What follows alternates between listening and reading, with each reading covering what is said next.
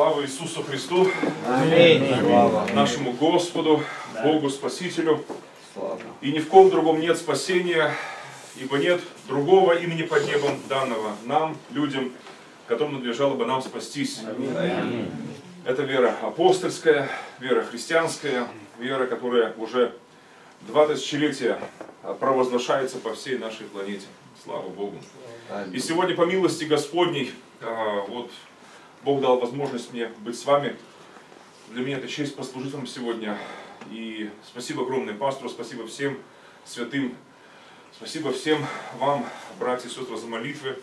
А, И хотя вот физически я еще первый раз с вами, но, в общем-то, о Коломне молился не раз уже, и вас вспоминал добрым словом. Вот, и даже видео отсылал такое для вас. Значит, э, и, знаете ли, вот Бог усмотрел быть вместе с вами и утешиться нашей общей верой. Потому что вера она одна на самом деле. Да, и я являюсь вот священнослужителем э, православным уже больше 30 лет несу служение православного церковного служителя, священнослужителя. Э, И из них последних 20 лет уже тружусь как реформатор, как обновленец. А первые годы а, своего служения это были а, служения а, традиционные православные. И знаете ли, я очень Богу благодарен за вот то, что на протяжении вот своего служения а, всего этого времени, уже больше 30 лет, а, я говорил да, то а, очень много разных верующих видел, встречался и встречаюсь с очень разными, скажу так, душами, очень разными судьбами, пересекаюсь. Вот, в том числе, кстати, в Коломне тоже э, пересекался. Правда, в Коломне я был последний раз только вот в 92 году, но как бы уже время прошло достаточно много, но Бог дал возможность снова быть, э, но уже не как традиционный священник православный, а как реформатор. Да, и, э, друзья, э, знаете, сегодня хочу тоже, наверное, свидетельствовать, э, значит, и, ну, представиться надо, в общем-то, э, это прилично. Хотя и завтра тоже на собрании я э, собираюсь тоже свидетельствовать вот тем, что э, есть, что Бог э, совершает и совершал в моей жизни. Привет вам и от моей супруги, э, и от наших вот шестерых детишек, э, и от внука нашего уже, слава Богу, да. Вот э, не так давно началось мое дедство, да, дедушкой стал, да, слава Богу, это хорошо. Вот, и, э, друзья, конечно, да, и от нашей церкви, э, архиепископом, которой я являюсь, э, реформаторской православной церкви Христа Спасителя. И, э, так вот, дамы и господа, братья и сестры, хочу прочесть из послания Коринфянам, второго послания. Есть строки, которые сегодня на молитве утренней я их зачитывал. И в своей церкви, получается так, через интернет, как вот я уже поделился этим словом сегодня на молитве. И очень хочу сегодня поделиться с вами. Э, Второе послание, второе послание Коринфянам, да, э, с пятой главы. Второе послание Коринфянам, пятая глава.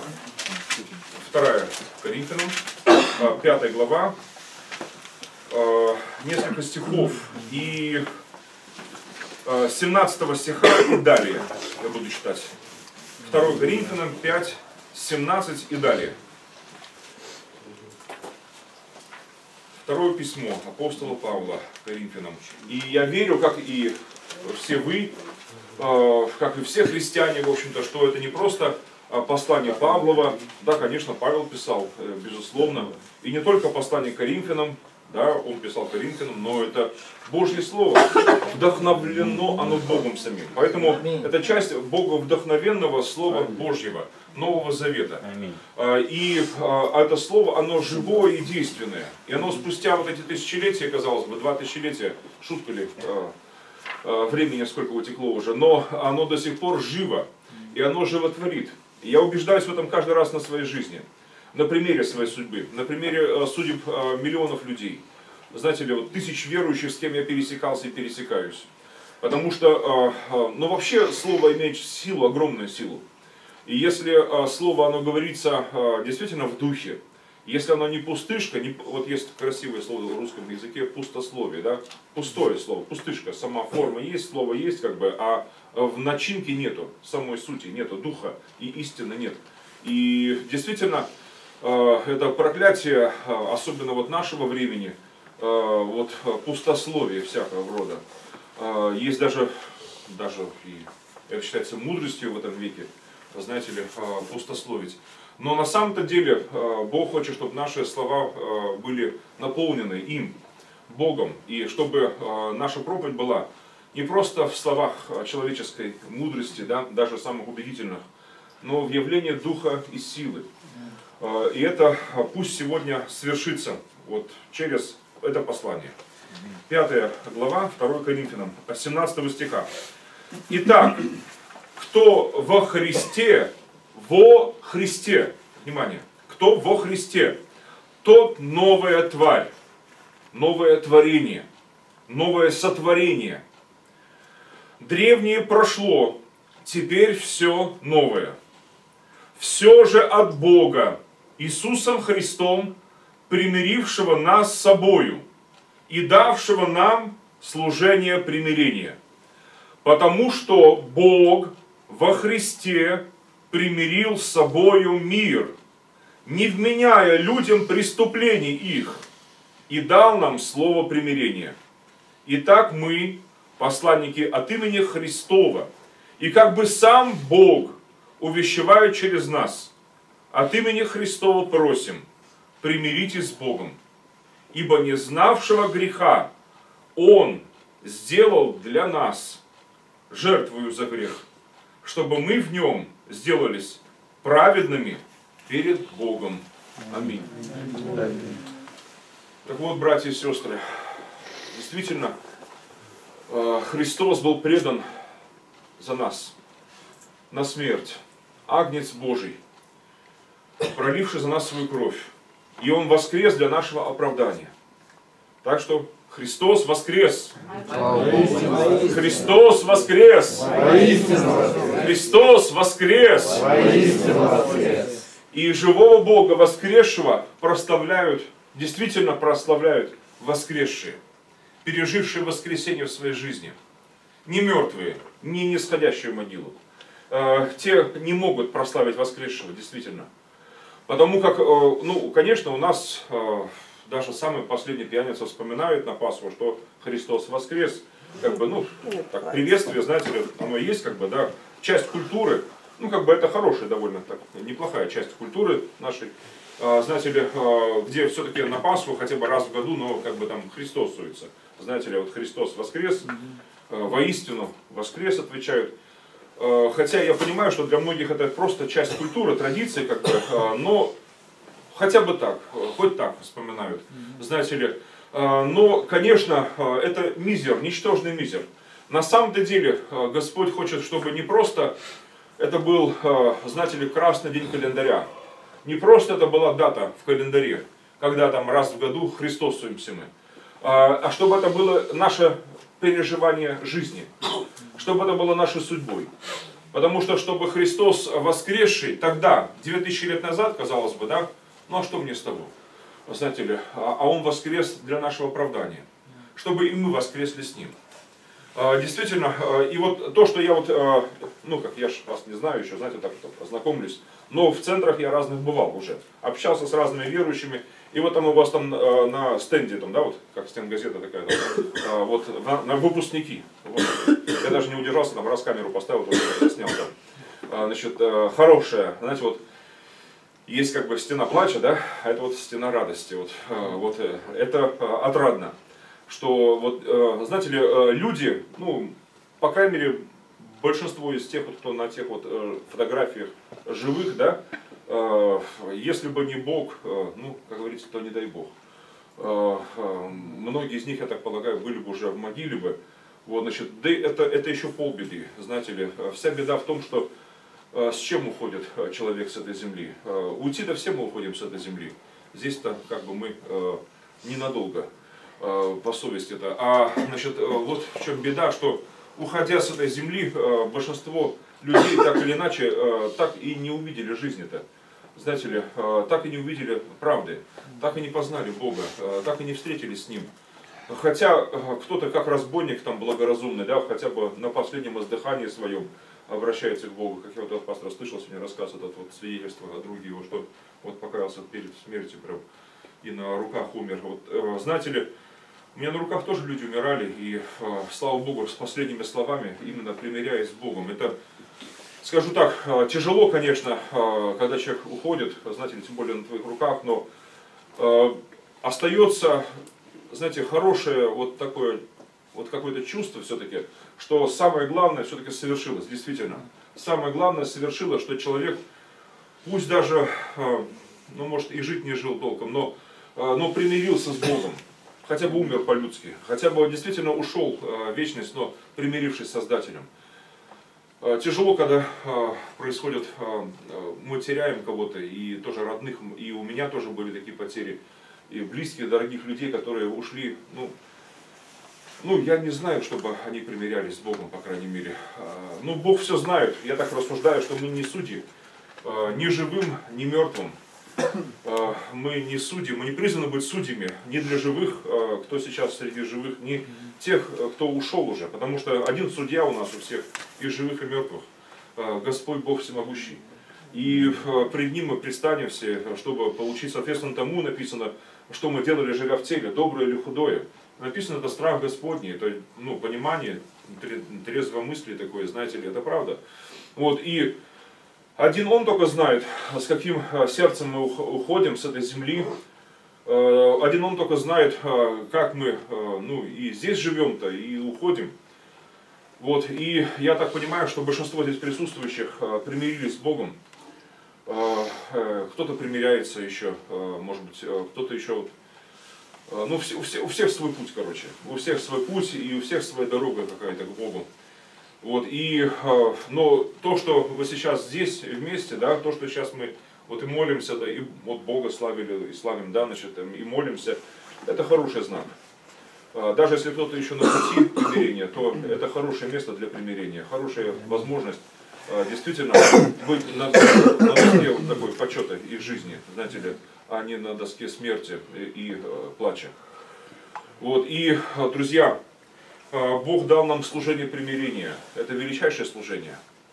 А, я вот понимаю так из Писаний, а, ну и вообще из, из э, Писаний, из своей жизни, из здравого смысла вообще христианского, понимаю, что Бог со своей стороны, Он примирился с нами, со всеми. Он примирился с нами. Хотя, знаете ли, ой, не Он с нами ссорился, положа руку на сердце, мы же знаем, да, это а, не он-то виноват-то. Но примиряется обычно не тот, сам, кто самый виноватый, а кто самый сильный. Вот. А, он примирился с нами по праву того, что он самый сильный, и он самый мудрый, и самый правильный. Аминь. И хотя не он согрешил, а мы согрешили, но он первым протянул нам руку. И это, это честь, это великая честь. Знаете, вот для нас, для э, людей слабых и отпадших от благодати, э, от нашего прапрапращура еще Адама и про матери Евы вот тянется вот э, та беда. Э, знаете ли, э, как снежный ком, да, 5000, получается, 778 лет назад вся эта началась ерунда у нас на земле. Вот если в библейском исчислении считать, не так много, но уже и немало. Почти 6 тысяч лет прошло этой беды, от падения человеческого рода, от падения вот, от нашего пра пра пра пра пра отца Адама и про матери Евы. И апостол Павел писал, ну, он сказал, это, это потом было записано, что Бог от одной крови произвел весь род человеческий для обитания по всему лицу земли, назначив предел обитания народ, да, дав земли им, раздав э, территории какие-то, знаете ли, предел обитания назначив, э, культуру какую-то дав там и прочее, языки, но есть послание такое, э, дабы познали Бога. То есть всем людям, всем народам Бог дал какое-то такое пожелание, э, нормальное, естественно, хорошее пожелание познать Бога. Слава Богу. Вот я э, о себе скажу, что э, вот Богу благодарен, что я вот не сошел в могилу. Также я давно бы уже бы сгнил бы в могиле вот, телом. О душе я не знаю, это только лишь один Бог знает, где, что, как, но в подростковом возрасте я умирал. Я знаю, что такое умирать не понаслышке. Я умер тогда от пневмонии, двустороннее воспаление легких, оба легких отекли и наступила смерть.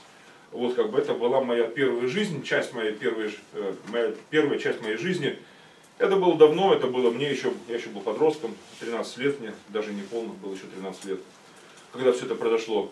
Врачи не смогли спасти, уже было поздно. Когда э, хватились, когда уже признали, что пневмония, но было уже поздно. Облаки отекли и уже все. Э, маме моей, тогда и папе моему, родителям моим, врачи могли э, только лишь, ну как, посочувствовать. И вот там врач сказал, что ну, вы еще молодые, можете еще родить вот э, как вы захотите. Ну и мой младший брат, у них еще вот э, сын есть, у вас остается еще один. Все, э, мое тело остыло. Значит, но, слава Богу, еще меня не резали, и, знаете ли, я вернулся до того, как вскрывали тела. Значит, то есть я воскрес, вернулся к жизни, когда уже все. То есть я уже, понимаете, не просто там частично вышел из тела, я полностью вышел из тела. Я знаю, что такое выходить из тела, это был, был мой первый опыт вообще, э, встречи с Богом. Э, я до этой встречи ничего о нем не знал. Ни хорошего, ни плохого. Ну, мы жили в Советском Союзе, конечно же, там и тем более, что родители э, мои были очень далекими людьми от религии, всякой, любой религии. Хотя я вырос в мусульманской семье, значит, ну как, ну, по культуре мусульмане мы были все, значит, там, и по матери я татарин, мама моя Ибрагимова, и э, моя татарская семья, она огромная, просто семья, это много братьев, двоюродных сестер, там дяди, тети. И, э, дедушка мой, бабай мой, вот Галя Ахмед, он у нас всех мальчиков, татарских, еврейских, всех обрезал. Значит, так, ну опять-таки это была часть культуры. То есть у нас да, и мечети никакой не было, и, и ничего не было, ни храма, и ни синагоги, ничего не было. По отцу я еврей, а по матери татарин, вырос русским атеистом. Просто а, дело в том, что на самом деле а, наши, наши семьи были далекими от религии, вообще от любой религии. Так получилось. Вот видите меня, я вот в роли православного священнослужителя, да, уже больше 30 лет. Конечно, еще в советское время, соответственно, понимаете, да, начал свое служение православное. Вот, и моя мама как-то говорила мне, а почему ты говорит, не в мечеть пошел там работать, а и не в синагогу, а в храм пошел? Говорю, ну мама, ну а мы, а мы переехали к тому времени уже в Орел, с Поволжья, да, там я родился в Поволжье, и мы переехали в Орел. А, значит, и а, жили тогда в городе Орле. Ну, я говорю, мама, ну у нас там, и, не, и не было ничего, ни мечети, ни синагоги, только храм православный. Все, что с религией связано у нас а, было а, в городе в Орле, ну это только лишь вот храм православный, один, второй там, ну третий еще. Вот как бы, значит, я вот туда э, захаживал. Дело в том, что встретившись с Богом, пережившись, переживший э, встречу с Ним, э, я, ну, дальше, когда воскрес, я не мог себе представить вообще жить без Него жизни. Вот, и вот это чувство надо было как-то реализовать. И я вообще художник по своей специальности, э, до церковной. Э, до 88 года э, я э, заканчивал и школу художественную, и училище художественное, работал в мастерской. Как бы это моя, э, моя жизнь, мое служение. А, и Богу, и мое, ну, суть моя, будем так говорить. Вот, а, а, значит, а встреча с Богом, я, в принципе, я свидетельствую об этом, есть мои видео даже об этом, значит, но все равно, знаете ли, я понимаю так, что сколько не говори об этом, все равно так не поймешь, вот, честно говоря, вот, помрешь, сам поймешь все, вот реально, потому что сколько не рассказываю о том, оно другой мир, совсем другой мир. Поэтому я понимаю прекрасно, почему Библия, она почти все говорит только вот об этом земном бытии. Потому что оно, там мы разберемся сразу. Там не нужно тебе... Я, допустим, о Боге ничего не знал вообще, абсолютно, ни плохого, ни хорошего. А, ни о мусульманской теории не знал никакой, ни о иудейской, ни тем более о христианской, ни, ни о чем этом не знал я. Но, однако же, там находясь, а, я сразу все понял, все сразу знал. Понимаете ли, самый лучший университет, просто вот знание а, там сразу как бы, ну, наподобие, как сейчас вот век интернета, допустим, да, а заходишь во всемирную паутину, и ты сразу можешь к любым там базам иметь доступ, значит, э, источникам информации, да, но, а там намного больше все это, ну, как бы интернет это лишь слабое подобие того, что там находится. Вот там ты моментально, полностью, не просто там апгрейд постепенно там у тебя, а, а ты полностью все знаешь. Я там рассуждал как взрослый человек, я понимал все. Одним словом понимания, вот именно вот словом понимания можно то состояние. Вот. Ну и э, Бога, как я видел, тоже не могу вам рассказать вот, толком. Знаю, что одно, что он хороший. Вот, это вот это вот запомнилось на всю жизнь. Что э, любящий взгляд. Вот. Но самое главное, знаете, что, э, вернулся. Э, потому что э, там хорошо, но здесь не то чтобы лучше, но здесь есть некоторые вещи, которых там нету. Э, и в частности, вот я думал, знаете, о чем э, тогда? Э, вот находясь перед ним, что э, вот я умер, а ну, я не ощущал себя мертвым, абсолютно нет, нет. Я э, живым себя ощущал только. Значит, и там даже наоборот, как будто бы я 13 лет проспал, и вот наконец-то я проснулся. Потому что там более реальная жизнь, более, ну, ну, во всех отношениях более реальная. Вот, в той жизни я мог бы эту, допустим, кафедру насквозь пройти. Не потому, что я нереальна, а то, что она нереальна на самом деле. Вот, значит, но, но есть своя прелесть вот, вот в этом мире. И самая великая прелесть, я это четко осознал, знаете какая? Что здесь есть время. И это время, оно очень, ну, скажу так, ну, конечно, для кого-то проклятие, но вообще-то, ну, для нормального человека все благословение, знаете ли. Вот, значит, и время это тоже благословение. А, и а, здесь есть возможность что-то сделать. Ну ладно, не буду дальше рассказывать, это уже а, такое свидетельство. Сейчас начну это могу. Я, я лишь скажу так, что Э, э, вернувшись э, оттуда, я, кстати, был исцелен. Я не только заполнял самого себя, так постепенно, как бы, как бы каток, этот смерть, как бы она откатывалась назад, и я заходил снова в самого себя, как бы, и там до конца, до, до самых пяток, знаете, как вот как, как какие-то колготки, и прям до конца прям почувствовал прям самого себя, что я уже в себе, внутри себя. Вот. И я был исцелен, я это понял, когда еще даже здесь еще такой был, еще не, не весь зашел в себя. Потому что, э, когда уже здесь был, э, я не хрипел, не свистел абсолютно. Э, а что такое умереть от того, что оба легких отекли, да, вот, значит, двусторонняя пневмония. А любой вздох-выдох это хрип, свист такой. А здесь, когда я зашел, я не хрипел, не свистел. Вот, ну, то есть оно болело, но когда каток откатывался, этот как бы невидимый такой, вот э, здесь, где он откатывался, там болело. Но откуда он откатился, там не болело уже ничего. То есть это, это я сразу понял, что у меня все хорошо. И действительно, когда я вот в себя уже полностью залез, как бы себя, ну, в Библии, в Коринфянам, а, да, апостол Павел это сравнивает, а, ну, как сказать, ну, в том же самом пятом, да, стихе, э, пятой главе, нет, даже конец четвертого, четвертой главы. Ну, понимаете, да, что деление на главы это чисто так условно, это э, потом в средние века так, для удобства сделали чтение, а на самом деле даже было одно письмо сплошняком. И вот э, в конце 4 главы, в конце самом 4 главы, в 18 стихе, написано в конце самом, последние слова такие, э, написано «видимое временно, а невидимое вечно». И дальше. «Ибо знаем, что когда земной наш э, дом, эта хижина, разрушится, мы имеем от Бога жилище на небесах, дом нерукотворенный, вечный». А, и вот, ну, я все дочитаю дальше, там так красиво сказано. От того мы и воздыхаем, желая облечься в небесное наше жилище, только бы и одетым не оказаться нагими. Ибо мы, находясь в этой хижине, это вот э, такое интересно, да, вот э, читали книгу или, может, видели фильм, видели фильм «Хижина», угу. да? А, интересно, я да? Видел. А, я книгу не читал. А, сын читал, но я так и не, не дошел до, до, до книги. Но фильм посмотрел. Интересно. Вот, значит, и очень такой интересный, такой, как бы и философский, и такой необычный взгляд такой на молитву, на прощение, на все. Вот, значит, интересно, есть над чем подумать. И вот там, ну там как бы другое смысловое, что хижина. Но, знаете, вот интересно, что вот в Библии, да, сравнивается наше тело с хижиной в которой я нахожусь сейчас. Это вот э, времянка, это вот то, что, э, в чем я нахожусь какое-то время. Э, кто-то там 20-30 лет, кто-то 50, кто-то 80-70, э, кто-то там э, 100 лет и больше порой. Э, наш пра-пра-пра-пра праотец Адам почти тысячу лет в этой хижине. Его хижина была крепка, почти тысячу лет прожил, знаете ли, вот так вот, но все равно покинул нашу землю. Вот, а Моисей а, в этой хижине продержался 120 лет Но он был такой, дедушка был еще крепкий, на гору поднимался, без снаряжения спортивного. Знаете, вот, и там на горе он посмотрел, еще не просто он там, ему нужно было очки одевать, он, он посмотрел как орел. Он видел землю Израиля, он все посмотрел. Так что а, Моисей был, а, даже в 120 он был таким, очень живым таким человеком и крепким.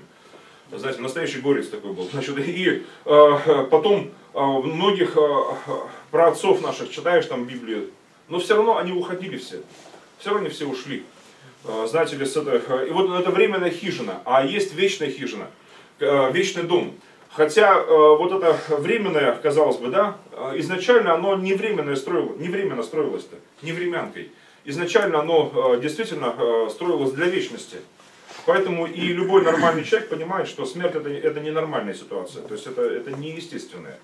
А если бы правы были бы э, вот эти вот э, эволюционисты, допустим, да, э, атеисты всякого рода, нечестивцы, то значит, тогда смерть воспринималась бы в человеческом роде как нечто само собой разумеющееся, знаете, естественно. Никто бы на похоронах даже слезинки бы не проронил, ни отца, ни матери, ни, ни ребенка, никого. Потому что воспринимали бы смерть тогда бы как естественное состояние.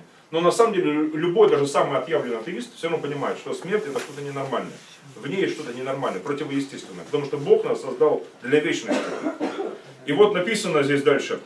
«На сие самое и создал нас Бог» в пятом стихе. «И дал нам залог Духа. Итак, мы всегда благодушествуем. И как знаем, что водворяясь в теле, мы устранены от Господа, ну, мы закрыты как бы этим телом от Господа, да, от того мира, ибо мы ходим верою, а не видением, то мы благодушествуем и желаем лучше выйти из тела и водвориться у Господа. Вот видите? И потому ревностно стараемся, водворяясь ли, выходя ли, быть Ему угодными. Ибо всем нам должно явиться предсудилище Христова, чтобы каждому получить соответственно тому, что он делал, живя в теле, доброе или худое.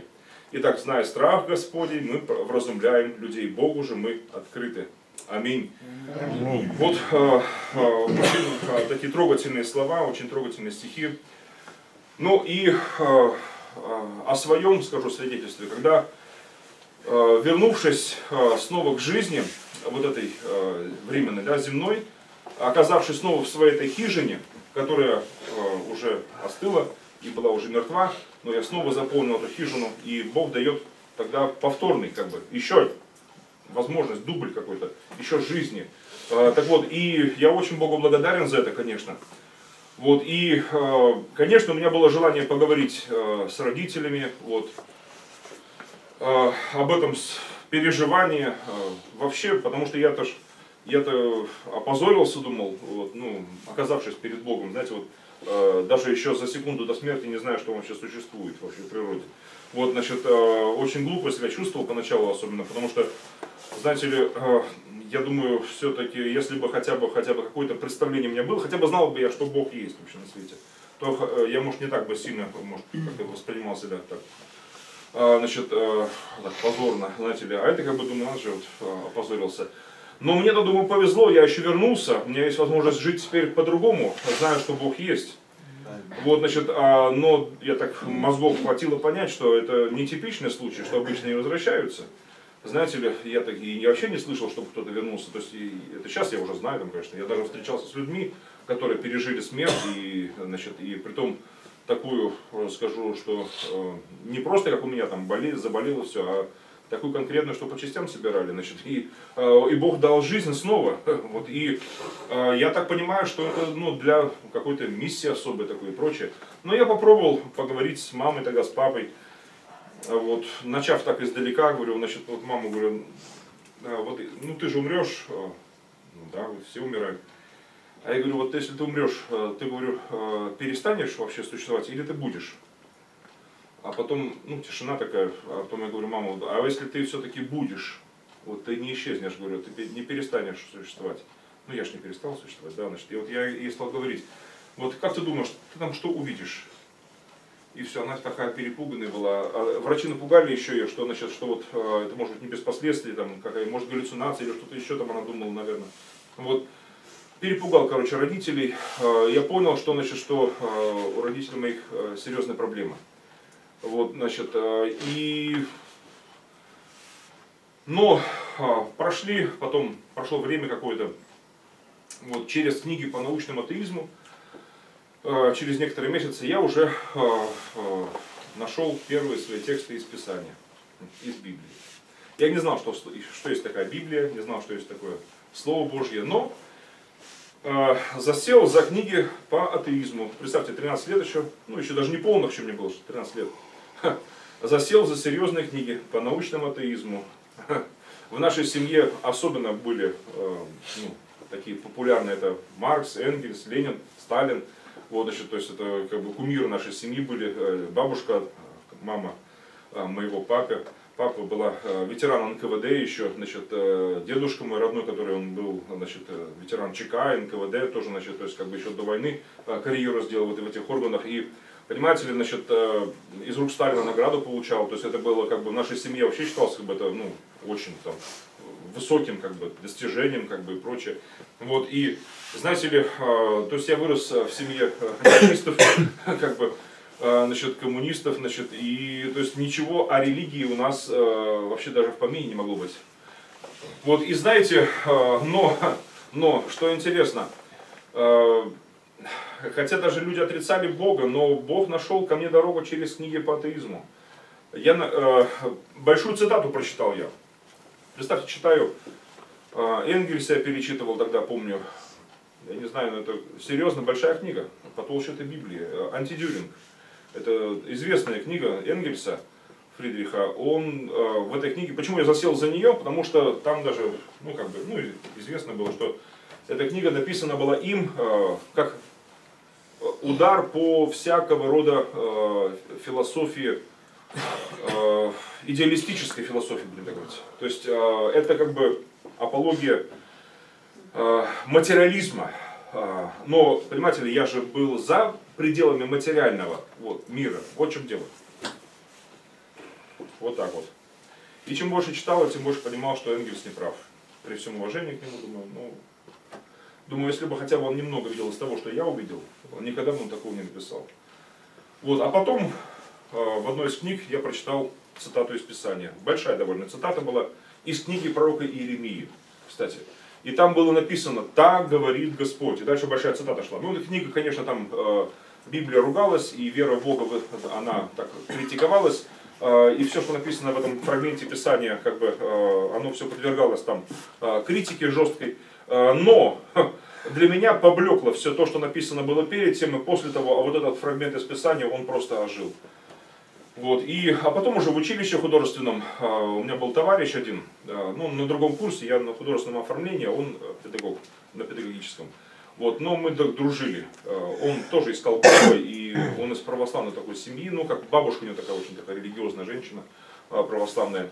Вот, и мы с ним сошлись, так общались, э, дружили. Он и художник хороший, и мастер хороший, да, и вот искал Бога. И вот через него я уже имел настоящую Библию. Вот, и вот получается 84 год, 85 год, э, он доставал мне Библию на время. Поначалу это было лишь на время, на месяц, на два. Вот, значит, э, доставал, на, ну, два, на два месяца, месяц сам читал, месяц мне давал, вот так вот обычно. Вот, и, но это было э, уже чтением не просто по фрагментам Писания каким-то, а уже настоящее чтение уже настоящей Библии. И вот это, конечно, в училище это было художественным, для меня это была революция настоящая в моем сознании. Очень Богу благодарен за это. Вот, и написано, и познаете истину, и истина сделает вас свободными. Друзья, я не буду так много дальше рассказывать, наверное, но э, знаете, что скажу? Э, действительно, из того, что я и рассказал, уже даже много рассказал, и из того, что прочитал из Писания сегодня, э, вывод такой однозначный, что нам всем предстоит предстать перед судилищем Христовым, вот, и э, знаете, что когда мы пред ним, там, ну, скажу так, не, там невозможно обманывать вообще. Там нельзя -то одно подумать, другое сказать. Там даже ты не говоришь ничего. Там вот как телепатия, что ли. Ты, вот то, что ты думаешь, это сразу как ты говоришь. То есть, там, и ты сразу все понимаешь, э, что тебе говорят, как бы, или думают. Вот я э, понял такую вещь из того, что я видел а потом из Писаний, конечно, из Библии я нашел там массу подтверждений всему этому. И опыту. И я понимаю, что в Библии раскрывается, там, конечно, в Библии много и плохого, и хорошего, всякого. Там слова и порочных людей, грешных людей, и святых, праведных, слова даже самого Господа, Бога Всемогущего, да, слова Иисуса Христа, вот, и слова бесов, там, и дьявола, и слова э, грешников, э, и, и примеров. Э, вообще Библия, она не приукрашивает жизнь человеческую, она показывает мне, чем нравится, вот, она показывает жизнь, какая она есть, без розовых очков. А на самом деле грех, грех, и все, весь мир возле лежит, и вся вот эта вот гадость, которая в сердцах человеческих, все это как бы наружу, все это, и, ну, без всяких прикрас. А, но, э, знаете, вот, я думаю, если Бог вот, э, видит нас как есть, как, как облупленных, но а, однако же э, продолжает верить нам, любить нас, продолжает надеяться на нас, продолжает вот, действительно ожидать и всячески вообще спасать вообще. Вот, и особенно, когда вот этот стих, вот я прочитал вот первым, да, что он во Христе примирил с собой вообще мир. Представляете? Вот, позиция сильного человека, действительно, как вот говорят, что первым примеряется обычно не тот, кто, ну бывает и всякое в жизни, конечно, но э, обычно не тот, кто даже самый виноватый, а тот, кто, ну, самый сильный, как бы, да, примеряется первым обычно. Вот, и он самый сильный, он примирился, э, отдав свою жизнь, свою кровушку за нас, доказав свою любовь. Если до Христа Иисуса, до нашей эры, люди еще имели моральное право какое-то сомневаться в Его любви, э, в том, что Создатель любит ли нас вообще, или Ему наплевать с высокой колокольни на нас, знаете ли, люди же тоже разные мыслили и тогда, и сейчас. Вот, но э, до Христа Иисуса, до нашей эры, еще имело это как бы объяснение какое-то, знаете ли, и оправдание, то сейчас уже нет. Э, он однажды и навсегда э, доказал нам свою любовь. И кровь Иисуса Христа – это свидетельство действительно Его любви. Это действительно доказательство. Раз и навсегда, однажды и навсегда приобрел искупление вечное. Однажды навсегда действительно доказал к нам свою любовь. И это очень серьезно. Это действительно навсегда. Э, это не шуточно. И пусть Господь нас благословит сегодня. Вот. И э, у каждого своя судьба, конечно. Каждый пришел сюда по-разному и уйдет отсюда по-разному. Но, э, знаете, пусть наша жизнь дальнейшая, где бы мы ни были бы, где бы мы ни трудились бы, что бы мы ни делали дальше – пусть наша судьба будет э, освящена им, Богом Святым. И когда пристанем перед э, Ним, чтобы не было, как говорится, стыдно, больно там за прожитые, знаете ли, а чтобы было радостно и, знаете ли, было, ну, скажу так, как Господь говорит, води в радость Господа своего. Да, верный ты добрый раб. Ну, прекрасно. Не, не такой, чтобы, а, ленивый там. Да. Но, а, понимаете ли, а, и еще что хочется, чтобы мы с этой земли ничего не возьмем, но кое-что возьмем все-таки. Кое-что заберем. А, а заберем вот мы самое главное, самое ценное. Как в какой-то сказке, там не помню, в детстве читал еще. Там, значит, какой-то принцессе там, по-моему, сказали, что насчет, что можешь с дворца забрать только одну вещь. Ну, самое ценное можешь забрать. Думали, думали бриллиант заберет или что-то еще там, корону заберет. Она забрала этого принца там, короче. вот, ну, то есть, как бы, самое главное взяла. Вот, значит, и а, вот также а, много что, как бы, а, мы можем взять только одно. А, действительно, а, только лишь любовь, она имеет а, продолжение вечность. И когда вот а, души спасаются, да, примиряются с Богом, когда служение примирения совершается, это самое великое служение. Это самое великое, что мы можем взять с этой земли, души людские. А, самое драгоценное. Вот недавно ушел в вечность Билли Грэм, а, всемирно известный евангелист, а, баптист по своей конфессии, деноминации, вот, евангелист по призванию. Ну, такой человек сто лет почти прожил без, без малого и, знаете ли, такой крепкий такой Божий человек и там потом видел всякие картинки такие, тоже у друзей там смотрю в ленте, там в социальных сетях, там, там э, Билин э, приходит к вратам рая, и там, значит, там множество стоит людей, его приветствуют, и, значит, там Господь говорит, тебя уже, уже миллионы заждались уже. Вот так вот, так что хорошо, когда вот действительно на небесах встречают многие души, которых мы возьмем с этой земли. Слава Богу, пусть Господь благословит. А вообще Бог хочет, чтобы все люди спаслись. И достигли познания истины.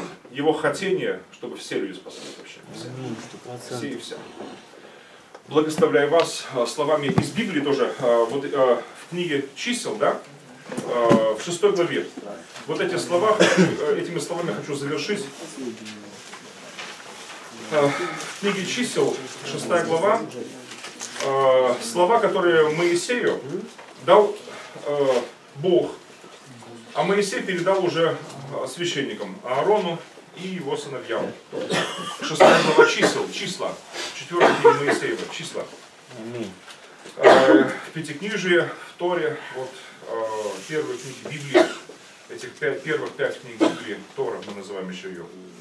И вот, значит, э, числа, шестая глава, с 26 вот э, здесь, э, ну перед тем скажи, скажи Аарону и сыновьям его, так благословляйте сынов Израиля, Израилева говоря им. И дальше вот эти слова благословения, а дальше, а в самом конце, последний стих, говорится, так пусть призывают имя мое на сынов Израилевых, и я, Господь, благословлю их. И вот эти слова адресую сегодня всем вам, братья и сестры, друзья сыновья и дочери э, Божьи. Э, Это самое э, ценное. Мы не только э, дети, э, знаете ли, наших родителей. Вот. э, Это хорошо, слава Богу за наших родителей, которые дали нам жизнь.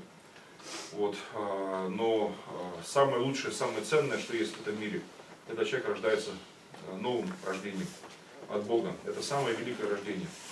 Это самая великая ценность. И у нас новая биография у всех независимо от того, какой мы нации, культуры, цвета кожи там, и э, прочее, э, есть новое рождение. И вот, э, вот это благословение, оно для всех верующих.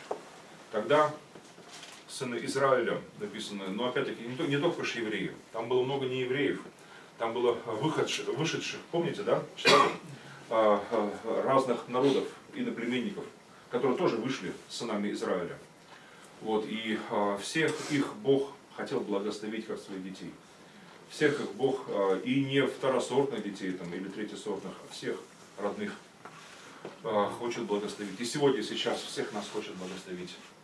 И в оригинальном тексте на иврите там э, вообще потрясающе, там это слова благословения, там говорится, и он хочет нам улыбнуться к своим детям. Благословляю вас. Еверехеха Донай. וישמרך יהר אדוני פניו אליך ויחונך יישא אדוני פניו אליך ויעשה לך шалом. Да благословит тебя Господь и сохранит тебя. Да призрит на тебя Господь светлым лицом своим и помилует тебя. Да обратит Господь лицо свое на тебя и даст тебе мир. Бешем Иешуа Гамашех, Иешуа Машехейну, во имя Иисуса Христа Мессии. Амин. Бог Авраама, Исаака Якова, Отец наш, сущий на небесах, да святится имя Твое, и да придет царство Твое, да будет воля Твоя и на земле, как и на небе. Хлеб наш насущный дай нам на сей день. Прости нам долги наши, как и мы прощаем должникам нашим. Не веди нас в искушение, избавь нас от лукавого. Твое есть царство и сила и слава во веки. Аминь. Благослови виноградник сей, насажденный Твоей рукою, и посети, как великий виноградарь, и благослови народ свой миром, своим шаломом. во имя Иисуса Христа. Аминь. Аминь. Слава Иисусу.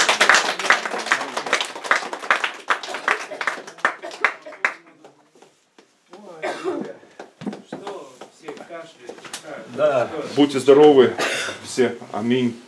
Аминь. Болеете все? Давайте мы поднимемся. Да, помолимся. Давайте мы возложи просто на соседа руку. Сестры на Аминь, сестер, аминь, братья на братья. Давайте Аминь, аминь, призовем аминь. имя Бога. Отец Небесный, Да, спасибо, во имя Отец. Иисуса Христа мы Да, призываем Твою исцеляющую силу. Ты Бог силу. наш Целитель. Во имя Иисуса Аминь. Христа, Боже, приди, Господь. Духом Своим владычествуй в сердцах наших, Господь. Я прошу Тебя, во имя Иисуса Христа, обнови. Господь, каждую клеточку организма, исцели, Аминь. обнови Аминь. каждый орган. Аминь. Боже, пусть Аминь. во имя Иисуса Христа каждый человек, кто находится здесь, да будет здоров. Пусть сила Твоя, мир Твой, радость Твоя, да пребудет вовеки. Аминь. Аминь. Аминь. Слава Иисусу.